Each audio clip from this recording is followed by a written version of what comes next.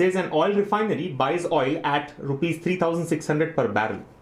There is 10% wastage. If the refinery wants to earn 5% profit, then at what price should it sell, including 8% tax on the selling price? In rupees per barrel. barrel. So we want the price in rupees per barrel. So what is the costing? See, the refinery buys oil at rupees 3600 per barrel. So their cost price can be taken as rupees 3600. So the cost price is let's say rupees 3600 per barrel okay. There is 10 percentage wastage. Now this is an interesting point. There is 10 percentage wastage. Remember they have bought they have spent rupees 3600 for what? For 100 percentage but 10 percentage is wastage which means they'll be able to sell only 90 percentage. They'll be able to sell only 90 percentage. Yes or no? 10 percentage is wastage. So what is left is only 90 percentage and that's what they can sell. That's what they can sell. Okay. Now if the refinery wants to earn 5% profit See, profit is 5 percentage. 5 percentage of what? 3600. Simple, right? Which is 180 rupees. Then at what price should it sell? What price should it sell? Including 8% tax on the selling price. Including 8% tax on the selling price. Now, it's simple. Selling price, you should add 8% tax on it to get the final price, right? 8% tax on the selling price. Including 8% tax on the selling price.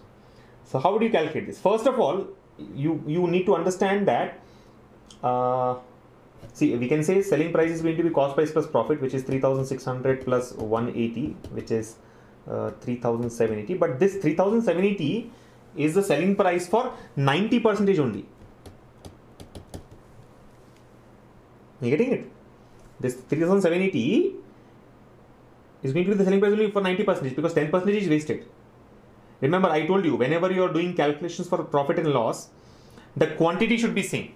The quantity considered for cost price and the quantity considered for selling price both have to be same. You getting it? Now here, the costing of rupees 3600 is on 100 percentage. This is the quantity, volume, 100 percentage volume.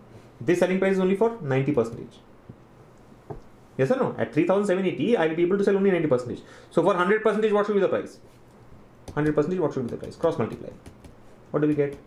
The selling price comes out to be 3780 into 100 upon 90 this is going to be the selling price. But then this is without taxes. This is without taxes right? You want 8 percentage tax on the selling price including 8 percentage tax on the selling price. So how do you include that? At what price should it sell including 8 percentage tax on the selling price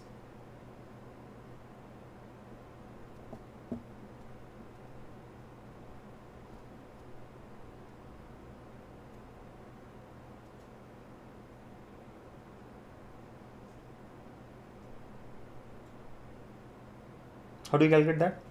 See, understand. I uh, suppose I am the seller. I will sell it at some value, s rupees, right? Out of that s rupees, eight percentage goes as a tax.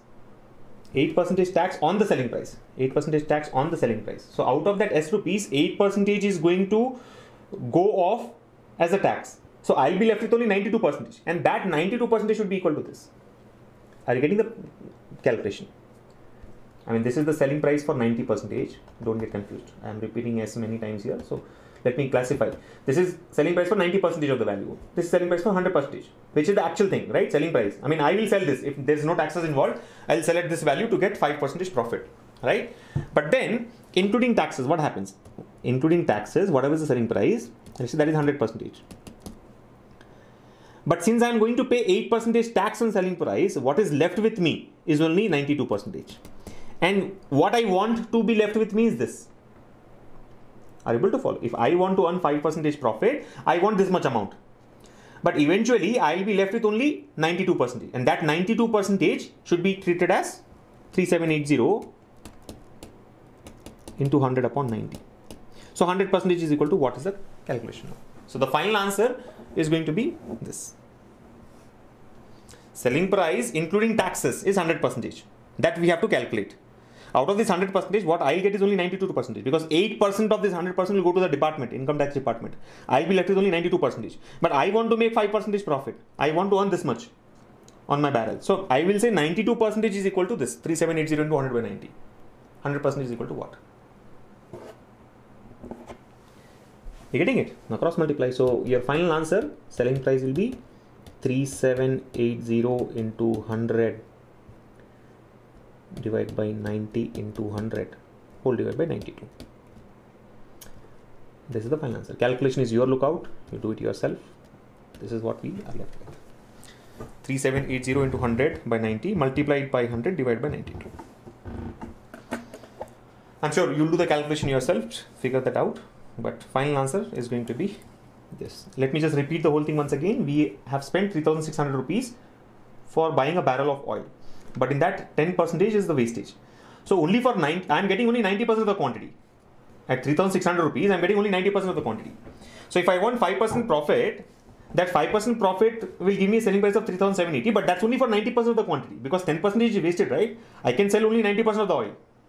I can sell only 90% of the oil. So for 90% of the oil, I will be selling at this price. So for 100% of the oil, I should sell at what price? That is this calculation.